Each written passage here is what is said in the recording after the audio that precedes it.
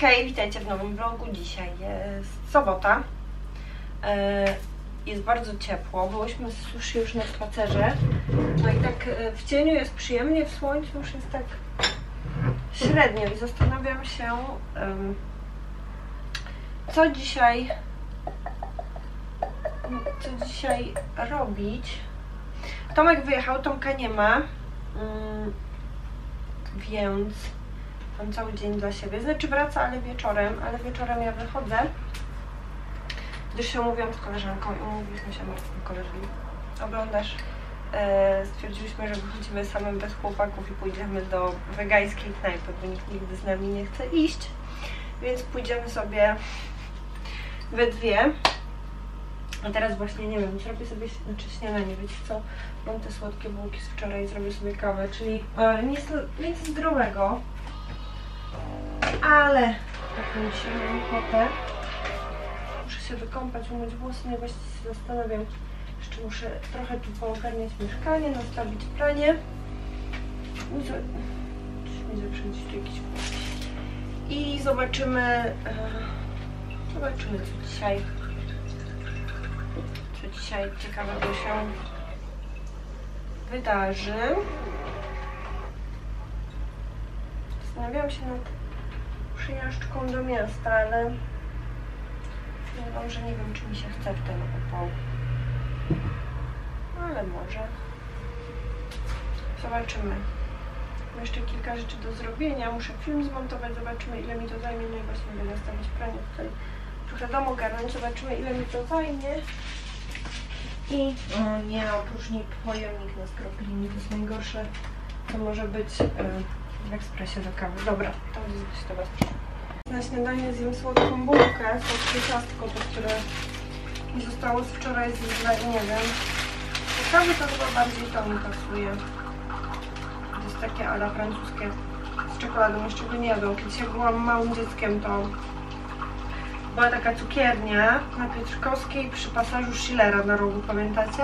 I oni jako pierwsi mieli właśnie croissanty i tego typu bułeczki mam po wspomnienia, co? Czasami z dzieciństwa takie śmieszne rzeczy się e, takie śmieszne rzeczy człowiek zapamiętuje.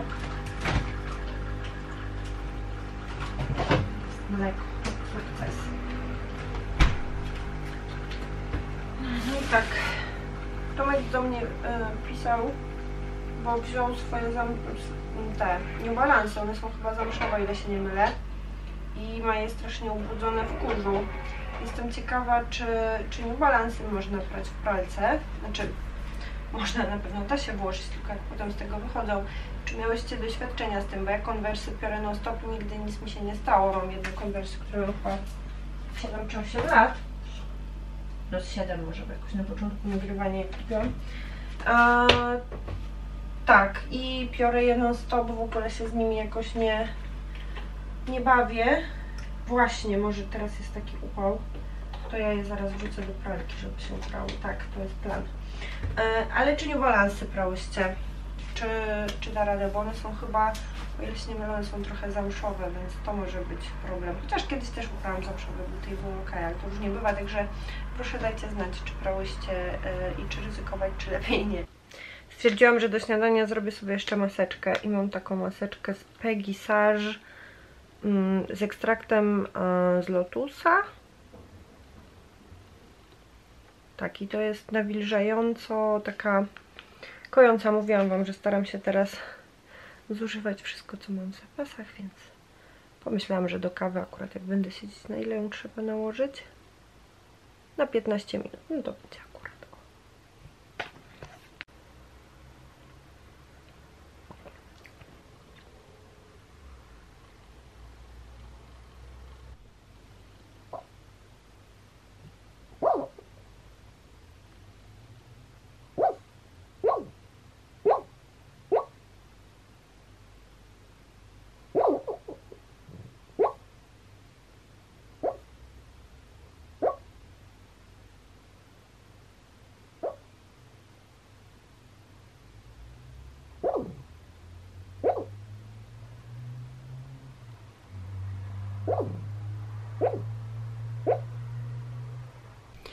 Uprałam konwersy i uprały się pięknie, jak widzicie. Po raz pierwszy, chyba po raz pierwszy prałam te krótkie.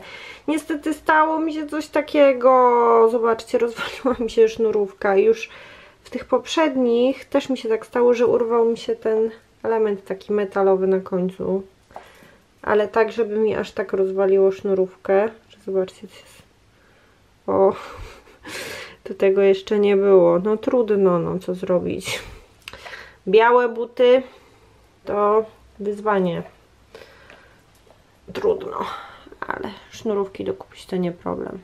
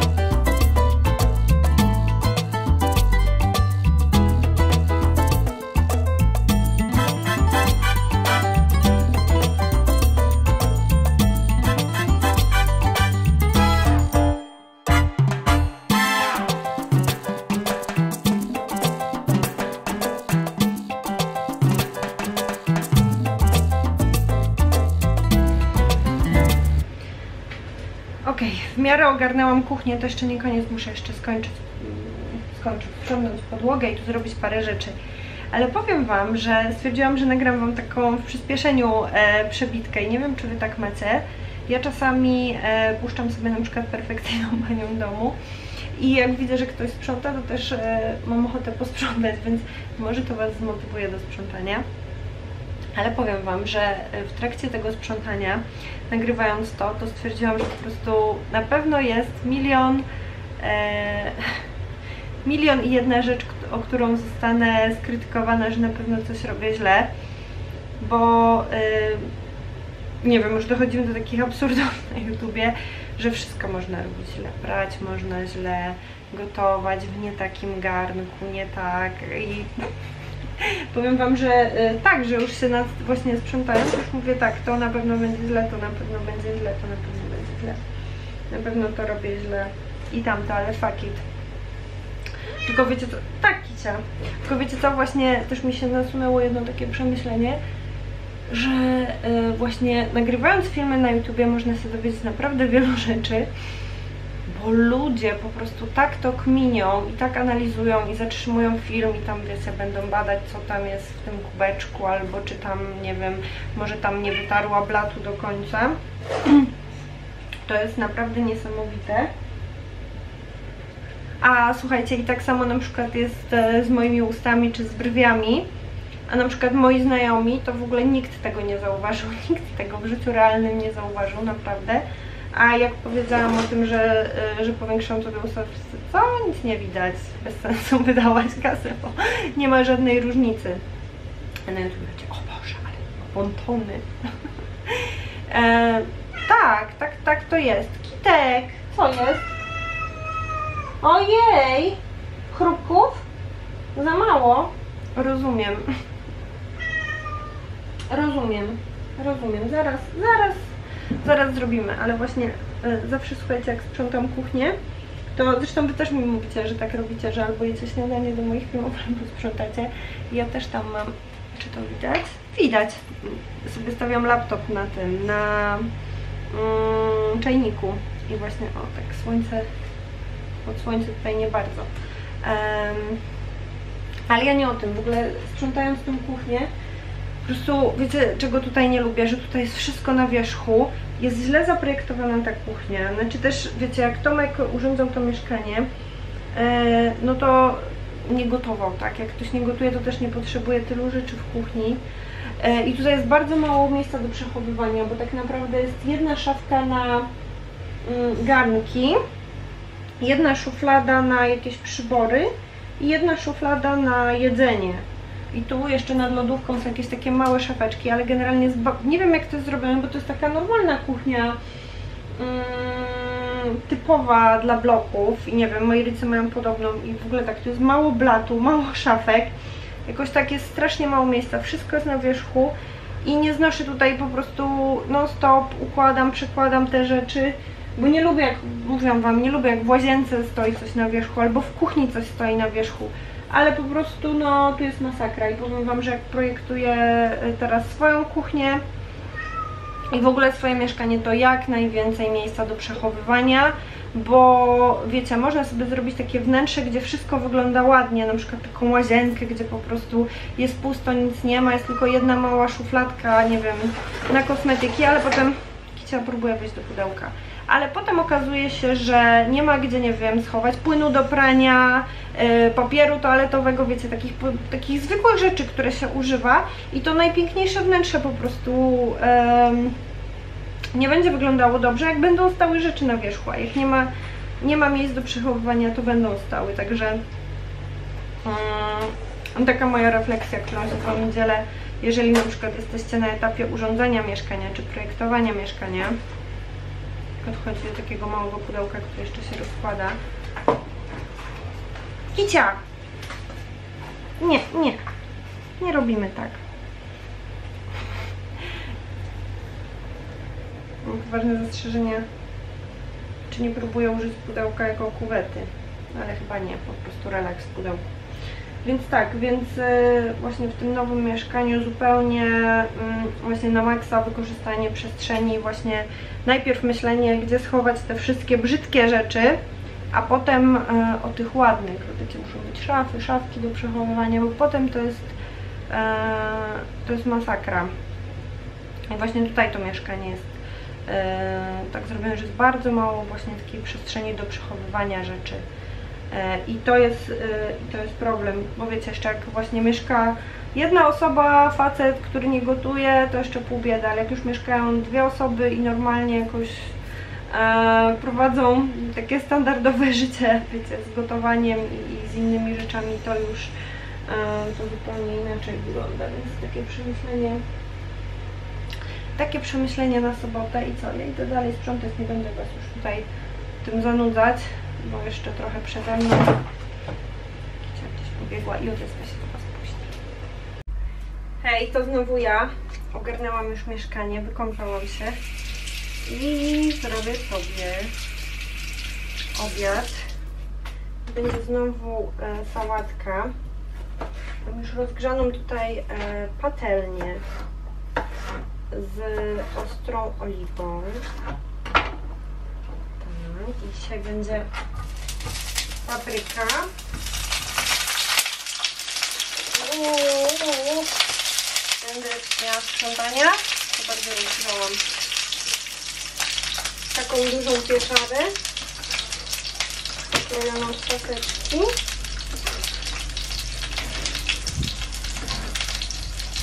Uwielbiam warzywa naprawdę, pieczone, grillowane. Obojętnie to wszystko jest pycha.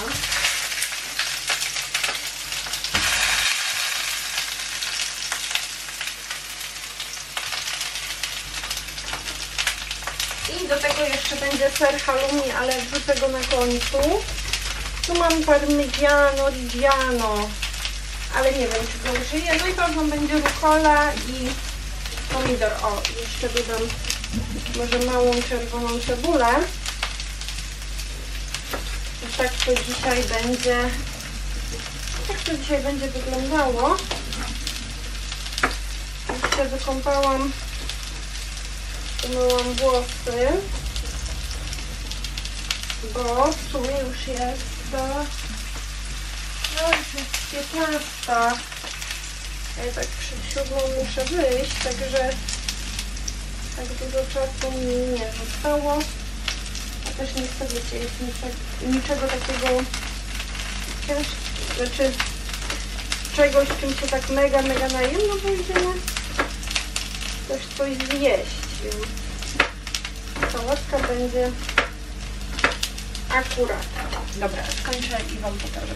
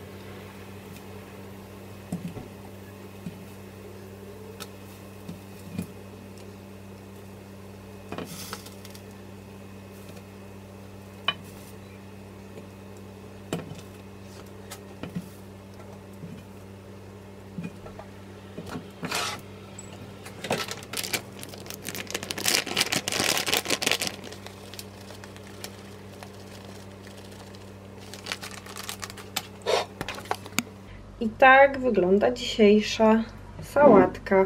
Rukola grillowana, pieczarka, grillowana papryka, pomidorki koktajlowe, czerwona cebula i grillowany ser halloumi i odrobina parmezanu. Chyba o niczym nie zapomniałam.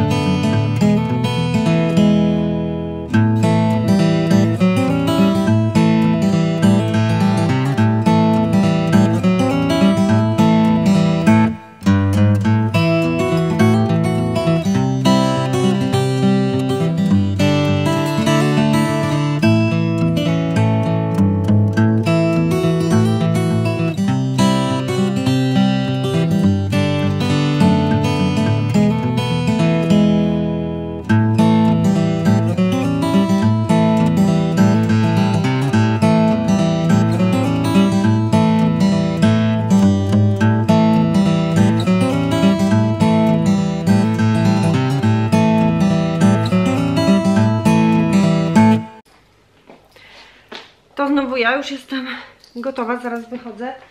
Myślałam, że jeszcze się spotkam e, z Tomkiem, ale ale jeszcze jeszcze wraca, będzie później.